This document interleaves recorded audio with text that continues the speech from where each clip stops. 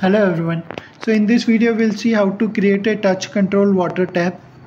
So this is our schematic and this is the description steps that you can follow to like create your own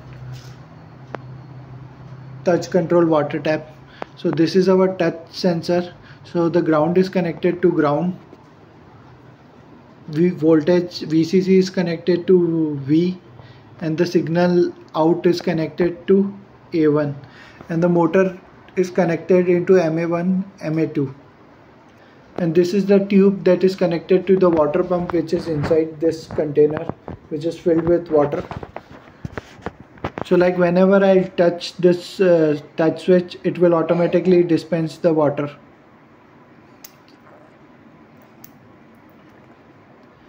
So as soon as I remove my hand it will stop dispensing the water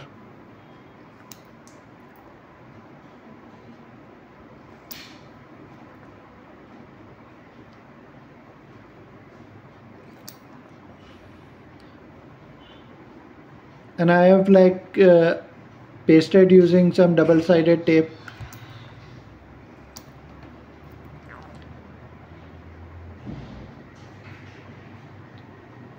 So as you can see like using sparkboard how easy it is to create your own touch enable water tap.